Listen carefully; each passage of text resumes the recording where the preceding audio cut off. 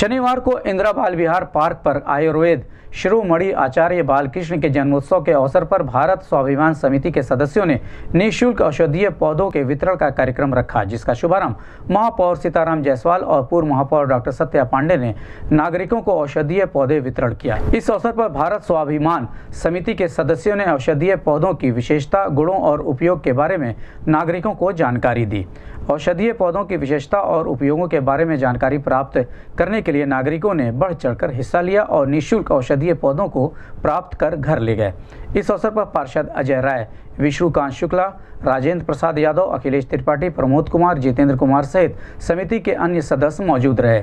इस संबंध में गोरखपुर न्यूज़ संवाददाता से बात करते हुए जिला प्रभारी भारत स्वाभिमान ट्रस्ट, हरिनारायण धर दुबे और पूर्व महापौर डॉक्टर सत्या पांडे ने कहा। मिट्टी पानी उसको नहीं चाहिए, उसको आचार्य जी का वर्तमान महापौर समाज सेवी आदरणीय श्री सीताराम जायसवाल जी, पूर्व महापौर बहन सत्या जी, यह बहुत वरिष्ठ अधिवक्ता, पूर्व पार्टी है। यह सभी इस कार्यक्रम को अपना आशीर्वाद देने के लिए बाहर निकलती है। और जो प्राकृतिक दवाई है, ये अपना कार्य करके हमारे शरीर से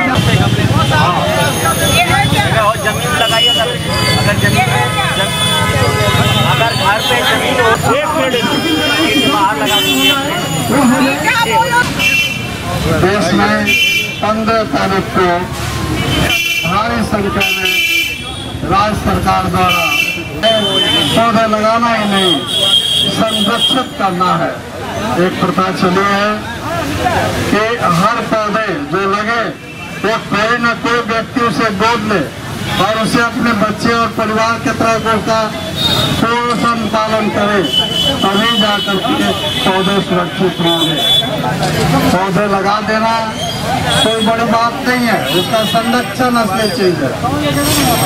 मैं सभी से ऐलान करूँगा, पौधे लगाने से पहले संरक्षण की व्यवस्था करें। अन्यथा पौधा लगाने से परहेज करें। तो नागदौन सर्पगंधा एक पौधा लगा हुआ नीला फूल भी नहीं आते हैं।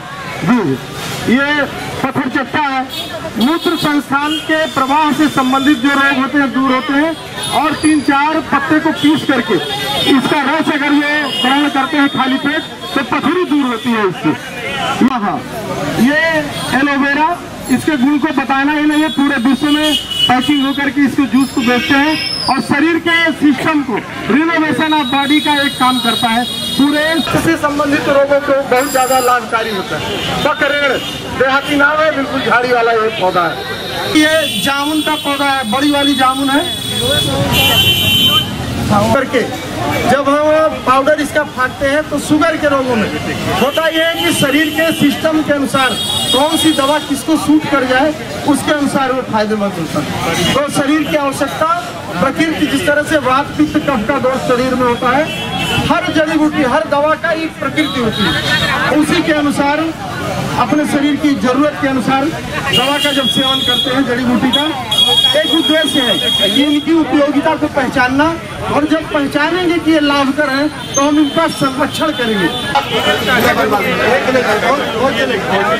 आपको बता दे रहा हूँ तो अगर एक इंच रोज एक इंच ग्रहण करिएगा तो पैर से लेकर के सर तक कोई रोग नहीं होगा। या तो नब्बे रुपए का सत्य स्वामी जी डिबिया बना है वो ले लीजिए डेढ़ रुपए का करना पड़ेगा इसको मूल्य लीजिए इसको लगाना तो नब्बे रुपया बर्बाद करिए या तो इसको ले जाके लगाइए जितने अच्छा पैसा लगा सोचिए कि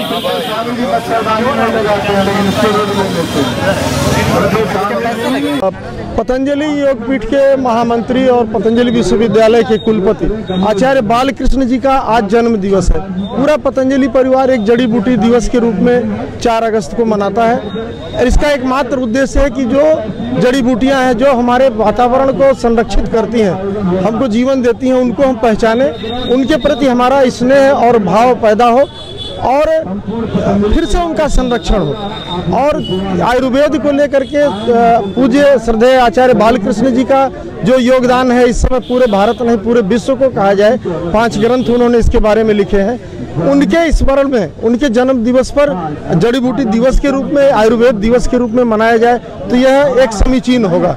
और आयुर्वेद की जो सेवा, एक पुनः जीवन उन्होंने प्रदान किया है आयुर्वेद को, जो लगभग सुप्त प्राय एक चिकित्सा व्यवस्था हो गई थी, उसको एक शोध के द्वारा नए नए संसाधनों के द्वारा, नए चिकित्सा पद्धतियों को उसमें जोड़ करके उन्होंने जो नया आयाम दिया है आयुर्वेद का, उनके स्मरण में यह जड़ी बूटी दिवस आचार्य बालकृष्ण जी के जन्म दिवस पर मनाया जाता है। आज विश्व जड़ी बूटी दिवस है, उसको साकार करने के लिए पातंजलि योग पीठ के सभी परिवार के सदस्यों ने आज यहाँ पे, वो विगत कई वर्षों से ये कार्यक्रम करते रहे हैं और मैं आती रही हूँ।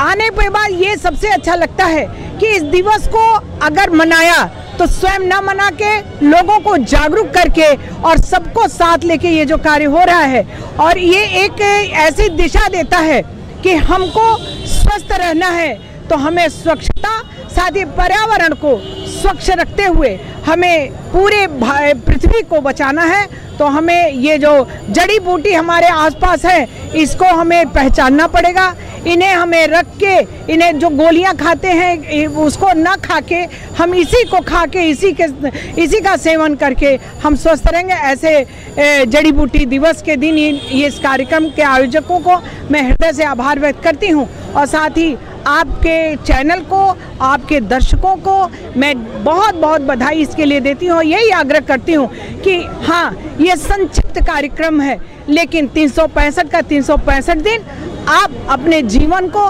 एक अच्छे बनाते हुए, स्वस्थ रखते हुए, अपने अड़ोस पड़ोस और पूरे परिवार को स्वस्थ रखते हुए, पूरे समाज को स्वस्थ रखने के लिए जड़ी बूटियों का सेवन करें। जड़ी बूटियों के जो पौधे हैं, उन्हें ज़िंदा रखें। पर्यावरण को शुद्ध रखने के लिए पॉलीथीन मुक्त अपना समाज बनाए। बहुत बहुत धन्यवाद।